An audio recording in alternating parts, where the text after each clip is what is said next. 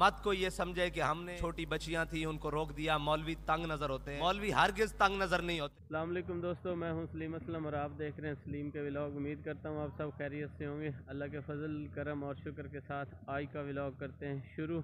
अगर आप चैनल पर नए हैं तो प्लीज़ चैनल को सब्सक्राइब कर दें, लाइक कर दें, कमेंट कर दें और अपने दोस्तों के साथ शेयर कर दें।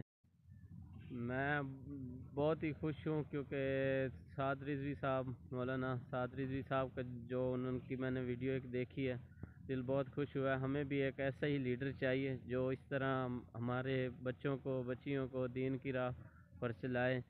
उनको एक फ़ंक्शन में तशरीफ़ ले गए हैं। वहाँ पे उन्होंने बच्चियों को, मेरे ख्याल में कोई फ़ंक्शन था उनका स्कूल में तो उन्होंने बच्चों को स्टेज उतार दिया।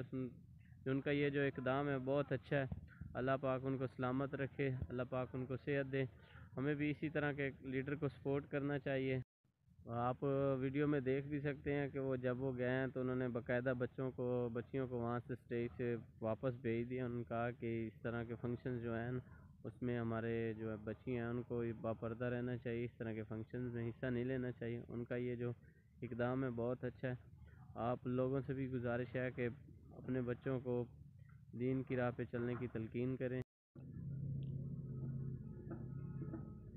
ये जैसे फ़ंक्शन में सामने नज़र आ रहा होगा आपको। आप देख सकते हैं वीडियो में। अभी वो तशरीफ़ लाए हैं तो उन्होंने अभी कहा, अब वो कह रहे हैं कि ये क्या हो रहा है, समझे, आप चेक करें। वो आपको इशारे से भी समझा रहे हैं। आप आपको नज़र भी आ रहा होगा। वो वो देखें, बच्चों को उन्होंने स्टेज से उतरवा दी है।